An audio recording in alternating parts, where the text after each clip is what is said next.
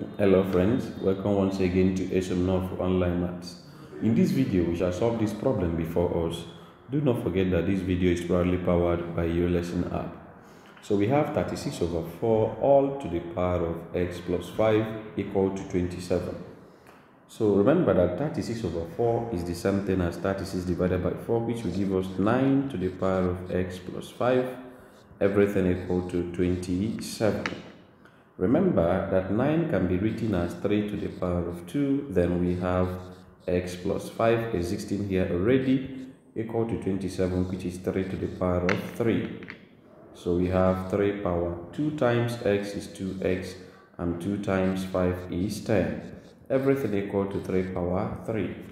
Now their bases are the same thing you are free to equate their powers. Therefore 2x plus 10 is equal to 3 2x is equal to 3 minus 10. 2x is equal to minus 7. To get the value of x, you are dividing everything by 2. By so doing, you notice that x is minus 3 root number 1 over 2. So this is the value of x that satisfies this equation.